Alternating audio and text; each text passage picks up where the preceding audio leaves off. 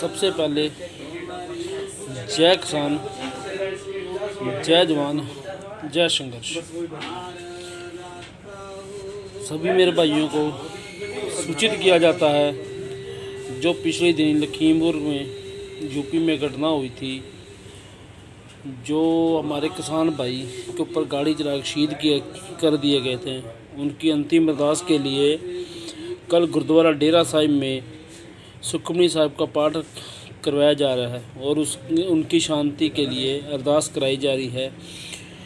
जितने मेरे किसान भाई हैं, बढ़ चढ़ कर सुबह दस बजे गुरुद्वारा डेरा साहिब संध में पहुँचे और उन, जो मेरे भाई किसान शहीद हुए हैं, उनकी अंतिम अरदास में शामिल हों।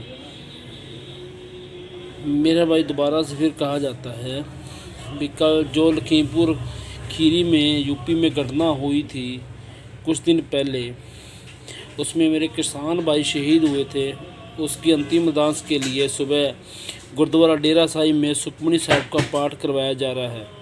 उसके बाद उनकी अंतिम अरदास के लिए अंतिम अरदास के लिए अरदास कराई जा रही है। उस अरदास में शामिल होने के लिए मेरे भाई जितने किसान, मजदूर भाई हैं, सभी के सभी बढ़ चढ़कर गुरुद्वारा डेरा साहिब संध में पहुँचे। धन्यवाद। मेरा भाई जय जवान जय किसान जय संघर्ष।